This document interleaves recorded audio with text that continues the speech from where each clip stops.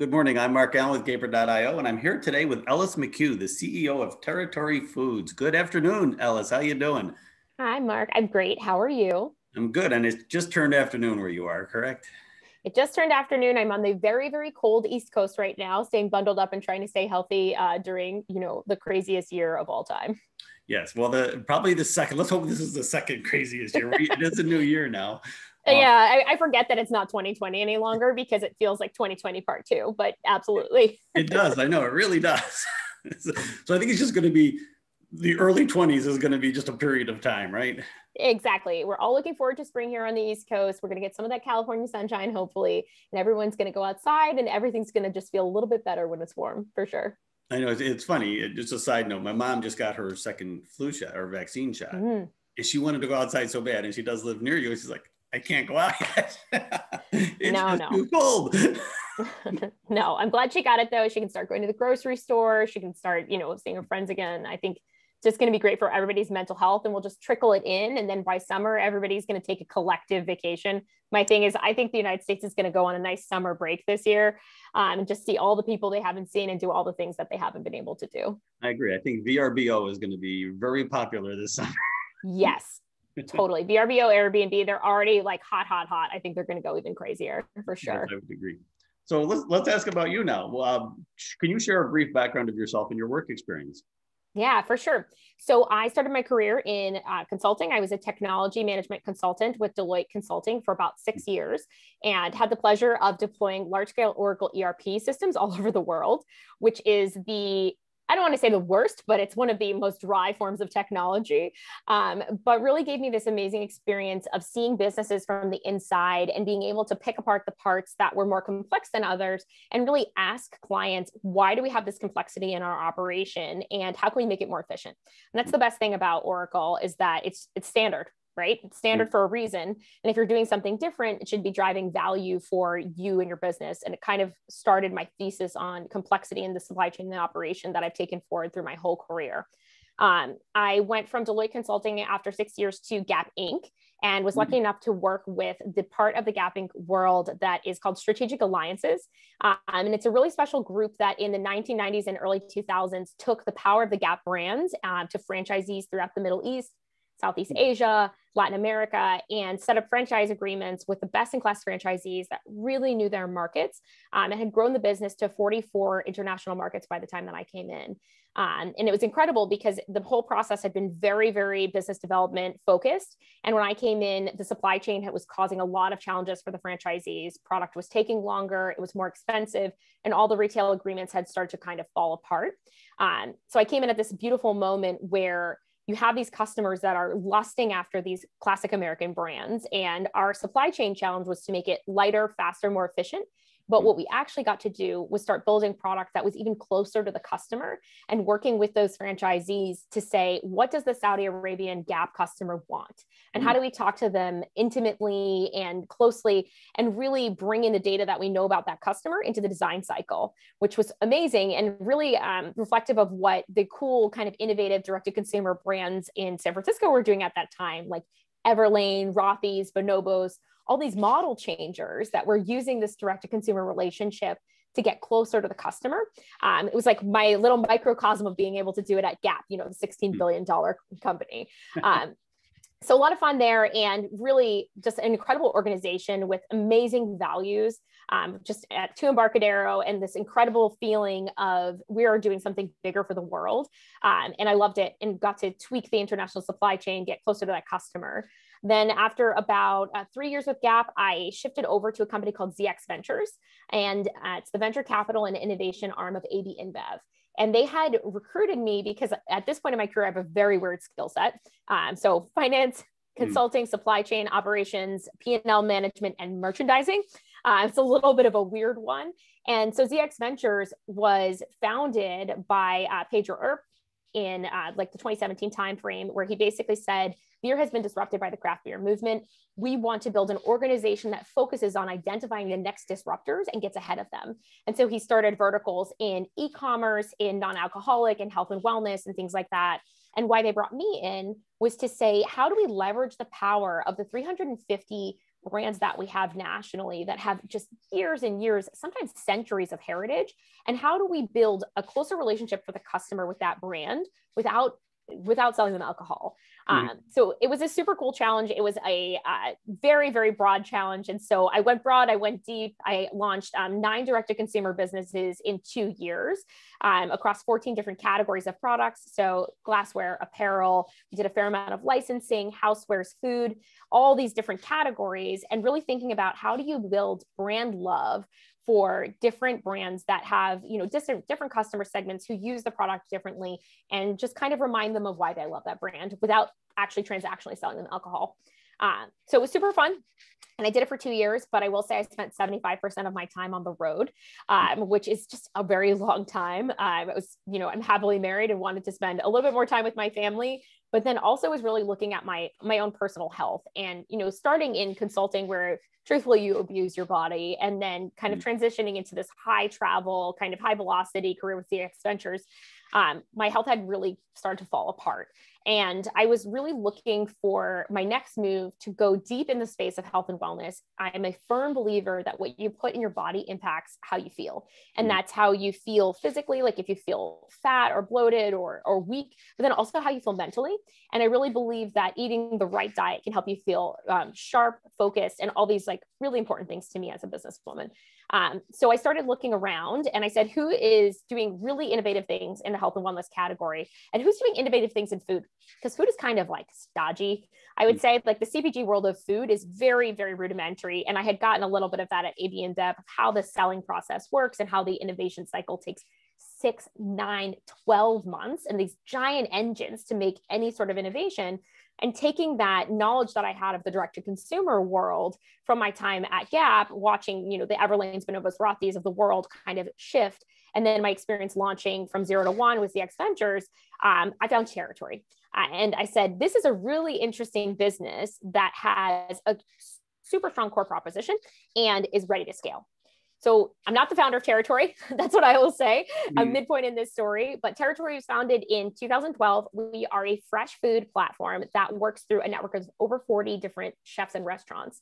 And so um, our chefs craft incredible meals every single week for our customers that are both delicious and healthy, and really focused on driving a better life for our customers, and then uh, helping them, you know, serve locally and actually work with their local economies rather than kind of saying, okay, I need to get healthy. I have to be buying food from from you know industry city california or uh, northern new jersey where it's going to get shipped across the country for me um, so we do a really beautiful job for our customers we help them when they're trying to empower a different part of their life so they may be trying to get control of their blood pressure. They may be trying to lose weight, or they may just be trying to be a work from home mom, trying to keep it all together. Um, we offer them the highest variety of product and the highest quality so that they're never let down. They're always really excited by what they're eating, and it makes it crazy easy to eat well. So we are super lucky to have great, great excellent uh, physical product enabled by our chef network. But then what I think is really interesting for this audience as well is that we actually have an incredible data science organization and um, algorithm that runs on the back end of our product. So every single week, we capture 90,000 points of differenti- differentiated customer data. Um, and we see what customers tell us about themselves. So their explicit and implicit preferences. And then we marry those things together and we start to build individualized uh, customer personas and algorithms for recommendation we are also able to roll that up at the macro level and say, you know, in Los Angeles, we see a, uh, a latent need for chicken center of the plate keto meals with Southeast Asian flavors. And then what we do is we go to our network of chefs and we say, do we have someone who's amazing at uh, chicken? Because chicken is really hard to make. Do we have somebody who's amazing at Southeast Asian food? And then we go out and we say, we're looking for something that kind of looks like this. And then the chef goes to their kitchen and they actually concept out in their kitchen and they think about the nuance of the spice and how the dish is going to come together. And our team of dietitians works with those chefs to make sure that everything is healthy. So all of our product is free of gluten, sugar, and dairy, inflammatory oils, and processed foods. So it's a very, very clean product. Um, and then the chef essentially creates the dish. And then we launch it on our site. It takes about four weeks of innovation from data to plate. And then we watch the customer. We watch the customer and see what they like about it. We survey them, we capture implicit and explicit information, and then we iterate, iterate, iterate on it. Um, so our product is always evolving and we use a very, very data led process to do it. Uh, but that's why I came to Territory is mm. this incredible product that's enabled by incredible technology was the perfect marriage of my background with the opportunity to scale and direct to consumer. Wow, interesting. It, it, it's funny. You you've married two of my favorite things: food and data science. mine too. I, mine too. I have to tell you, when I was working in CPG, I would sit in these insights meetings where an external agency like Shopper Marketing would come in and uh, I'll give you one about beer. And I, I don't rag on the beer industry because, quite frankly, I think it gets a lot of bad rep anyhow. But. I'm sitting there um, and the insights were women are buying beer now. And mm. everyone was like, oh my God, and I was like, well, guys, how much did we just pay for this consumer insights? You could have just gone to the supermarket, see who's picking up the beer and talk to them about why they're buying it, who's it for. Um, and so I was floored by the fact that the whole innovation cycle for the CPG industry is reliant on retailers and third party shopper marketing to get the most basic of insights. And just said, if you could create that one to one relationship with the customer where you know them so intimately and then attach it to a very fast innovation cycle, you can build a deeper relationship because you can tell the customer that you know them. You can show them that you know them. And I really believe that this is where all consumership is going is this intimate relationships with brands and products that are enabled by data science. So great food plus data science is where I live. Mm-hmm. And you just mentioned another one of my favorite things, beer. And I think I think that's why we're seeing more um, more beer with like orange and lemon and different types of fruits. Correct? Yeah, I would say it's a couple of core things. Beer as a category has three major trouble issues. One, the female consumer is buying more than uh, more than ever in the past, and a lot of traditional beer marketing isn't made for the consumer, the female consumer. Um, two, there's a perception that beer is not healthy. And so beer, I think, is going towards natural flavors a lot to say, hey, like we are natural, we are healthy. Now, your own personal feelings on whether beer is healthy or not, it's fermented, it does have carbohydrates, but it is a natural product. And so it's gotten a little bit of a bad rep over the last couple of years. Um, and you'll see that, like, this is why Bud, uh, Bud Light did something about like the purity of ingredients. Right? Mm. Nobody had ever been talking about that before. Um, and so, really starting to play in that natural space because there's an emerging awareness of consumers, specifically millennials, and then certainly in Gen Z, of this idea of food as medicine and what you put in your body really changes how you feel. Uh, and, and it's really interesting because how do you take something like beer, which is very recreational, uh, and, and tell the consumer that it's natural and tell them that it's okay? And they're fighting against elixirs and shrub and non alcoholic as a category. So it's a lot of competition. And I think beer is doing a really smart thing. And then right. the third thing is uh, lack of premiumization in the category and just adding kind of more you know developed flavors really helps beat this uh, perception that beer is not as kind of fancy as wine yeah so so now now we can talk about the the uh, virus and the effect it had on your company because yeah. you're, you're a direct consumer and before covid you know people were driving an hour to work and driving back so they probably used there's a certain group that probably used your your product more and now all of a sudden they're home like boom yeah I think by 7 by 365 so how did it affect your company yeah, I mean, I think COVID was transformative for every company, whether they tell you it was or not. Um, it was definitely transformative for territory from for two key reasons. First and foremost, you're right. There was a massive customer shift. We had a huge amount of customers that were eating territory for kind of that workday lunch. And then those folks were at home and all of a sudden they said, now I'm going to bake bread. Do you remember when everyone was making bread last year? Yes. Um, and it was amazing to me because as a, a, a, consumer insights person, I was like, where are you getting time to bake bread, guys? Because I know, um, and we know at Territory, because we are a permanent remote work culture. So we're all work from home all the time. We do have offices, but we're work from home first. We know that the hardest thing about working from home is actually collapsing the hours in the day because you will start checking your phone at 7 30 8 o'clock in the morning as you're eating breakfast. You'll sign on for meetings let's say 9 10 11 12 and then your last one maybe is at 6 7 and then you're checking your phone and you're still engaging on slack you know until 8 9 or 10 the hardest part of work from home is actually the discipline to stop working. Yes. So, how do you rectify the discipline to stop working that you need from work to home and like people being like, I'm going to bake bread? Um, and so, what happened was, I think for folks that were not used to working from home, they were like, I'm going to go all natural. I'm going to make my own food. And then there was this like moment of, I can't handle this. And I think mm-hmm. culturally, you hear about tons of burnout. I think Wall Street Journal said that you know 60% of uh, work from home workers are working on average two more hours than if they were working in the office, and that's counting commute time. Like those hours didn't come out of nowhere.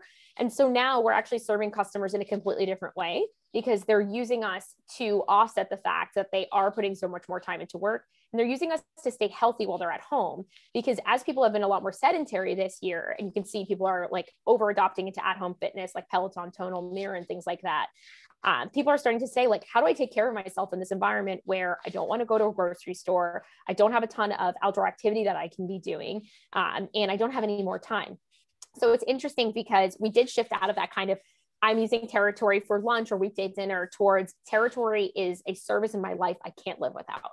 Mm. And we mm. hear that more than ever. Um, our core customer for sure, but then we hear it in new emerging sectors like uh, working moms is a really interesting sector for us because people who used to have time in their schedule maybe to make dinner are saying, I can't do it anymore. And I need a really high quality product. I'm not going to feed my family something that I wouldn't eat that I don't believe in. Um, and we're playing a huge role for territory with them. So it's always emerging. Um, but I would say that I never want to say that 2020 was a good year. I think 2020 was a year that we really focused. We said, how do we lean into the core values of the company that we are to empower our customers and make their lives better? And how do we keep people healthy at this really important moment to do so? And then how do we help them solve the new challenges in their world that are around food? Because food mm-hmm. shouldn't be the hardest thing that you do every day. Yeah, and it'll be interesting when things go back to what they say is normal, how that's going to, because because I'm sure there's a lot of people that now love your product yeah. Right. And then they're going to go back to that old lifestyle. And I think I have a feeling you might actually see an actual increase in, in business, correct? Yeah, I think so because listen, you're not going to get more time. Right. like I think that's that's the big thing. It's like you don't get more time in any way. Time is like the one thing you can't buy more of. It's a limited factor. And so I, I always put my customer hat on and I say, okay, the customer that we're serving at home, and let's say she's working two more hours than ever and she's responsible for feeding her family. It's very, you know, friction heavy thing. Now she has to go back into the office. Like, does she have less stress on her shoulders or more? Does she have more time or less? And so, what I think is now that people understand that you can get really high quality food delivered to you, that's not through Seamless Grubhub or Uber Eats. We're not talking about, you know, mm. you know, hundreds of dollars for one meal. That's all logistics cost. That doesn't really, you know, provide you any value. We're talking really great quality, healthy food that makes your life easier. They're never going to go back. Um, so it's a really it's a, such a special moment because I will tell you before the pandemic, two to four percent of American consumers were buying food through e-commerce. So that was Instacart, uh, Uber, Uber Eats, Grubhub, everybody like that. Us two to four percent. Now it's ten to twelve percent nationally, mm. and that's a huge shift. Yeah. And it's it's holding. And what's amazing to me is we can see leading indicators in countries like, or in uh, states like Texas, where things have been open for a while and something's never even closed. You still see that super high adoption. And then we can look at, um, you know, China and what happened with SARS and the way that there is a massive adoption of e-commerce. And then once people are using e-commerce, they don't really go back and that's what I think is going to happen, similar to what happened with uh, with apparel retail in the 2000s timeframe. We're going to see that in food as well, and so it's it's really exciting because I think the whole food landscape is shifting. Interesting. It's kind of funny. It seems like everything in life is becoming specialized, where you just you you just give this part of your life to to a company that you trust, right? That's two things you said that are so important: specialized and trust. Mm-hmm. Because as consumers, we are so lucky that we have the data that is going out in the world that, co- that companies are building things just for you right? You don't have to take the kind of average number of skus to fit the most americans anymore. You can get the personalized thing that fits your exact need and that's enabled by the way that data flows in our world. So this is only enabled by technology. And then it's trust because i think trust is so important especially in the world of food mm-hmm. because you're literally putting it in your body 21 times a week. Like it's the most intimate thing you can do um, with the world of like Amazon and mass commoditization on the internet, it's incredibly hard to understand what quality is. And once you get that consumer's trust, it's usually by showing them, it's usually by proving it to them once you have that trust, it's the most valuable thing that a business can have. And so for us, we are focused just so much on maintaining that trust. And it's not just through consistency of product, but it's consistency in the operation that we have, the way that your package gets delivered, it's the consistency in customer service.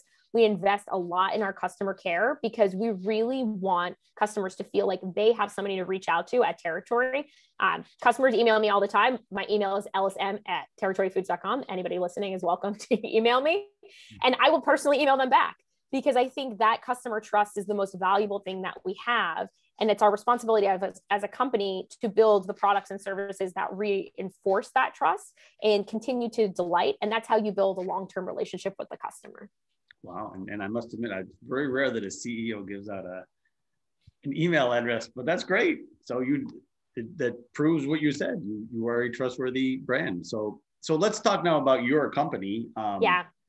because in order to do the things you're doing my gut feeling is you couldn't do it with just the people in Washington D.C. Correct?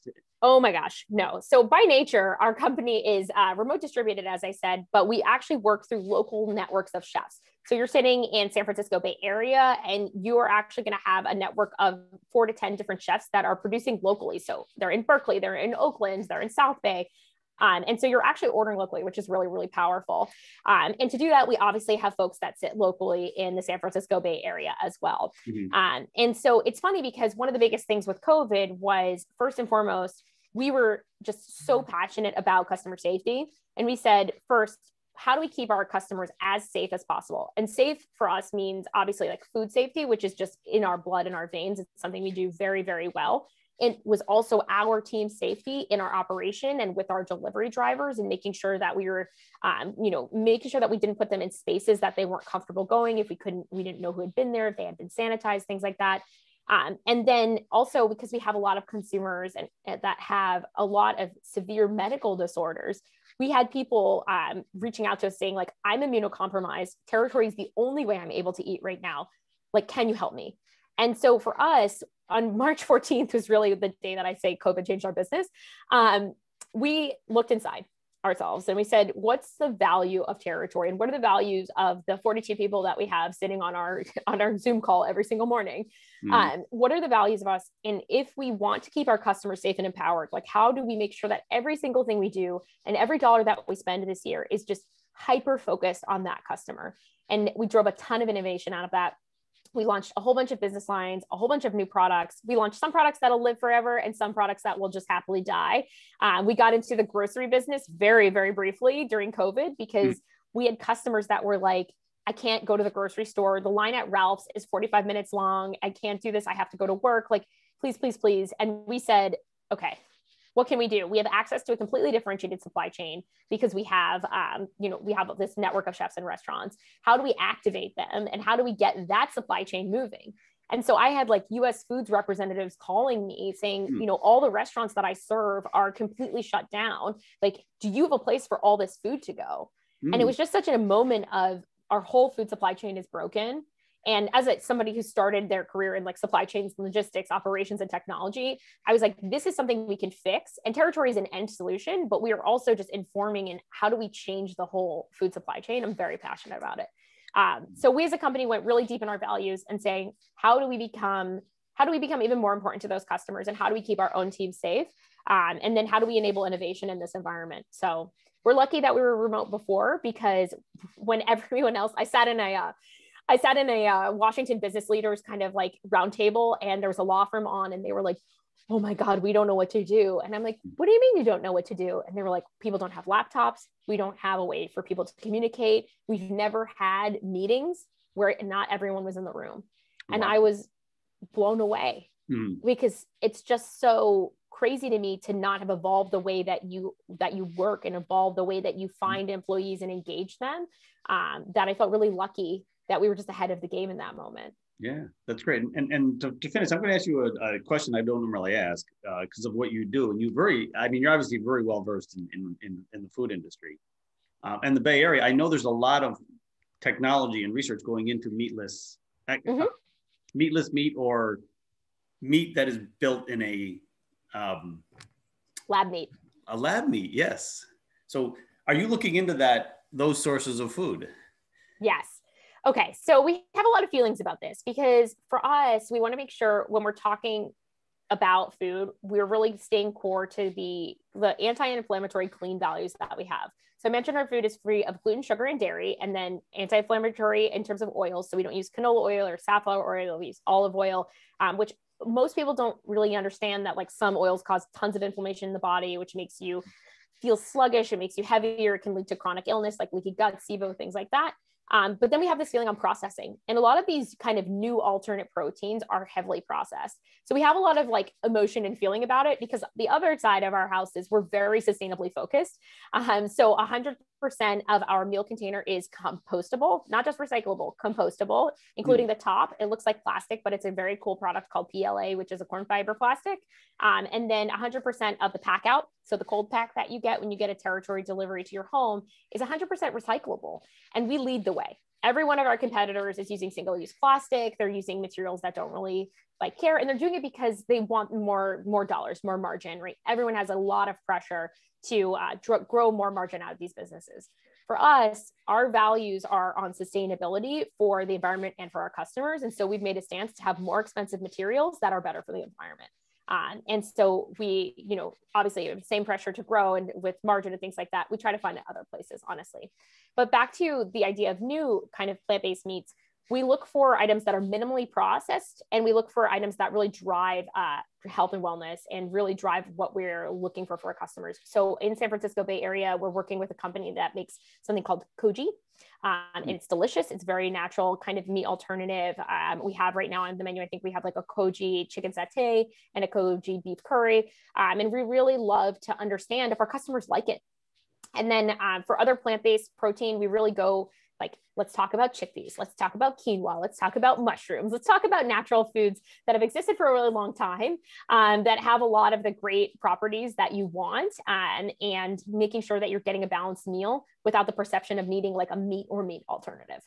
Interesting. So um, i could talk to you for hours because we've touched on almost a lot of my favorite topics but I we, we do have to get back to our, our day jobs, right? So, but I want to thank you, Alice, for your time today. It's been fascinating talk to, talking to you, and um, I think I'm going to go on and um, order one of your products today or tomorrow. I love it. Well, thank you so much for having me. Uh, this was wonderful, and love talking to you and your community about the amazing company that is Territory. All right. Have a great week.